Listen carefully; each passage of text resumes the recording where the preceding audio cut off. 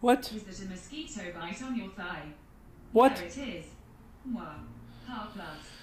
Toe? Johnny, so I told my friend that we can have a wine and some cheese on New Year's Eve. He said all right and went to fully stuff the fridge with alcohol. Why are you watching some French girl while streaming? Why are you watching some beautiful Canadian guy while sitting at home in, in New York? We don't know why humans do these things. We do not know why humans act the way they do. The only thing in life is just to roll with it, embrace it. Hey Johnny, how many subs do you need for push-ups? I'll do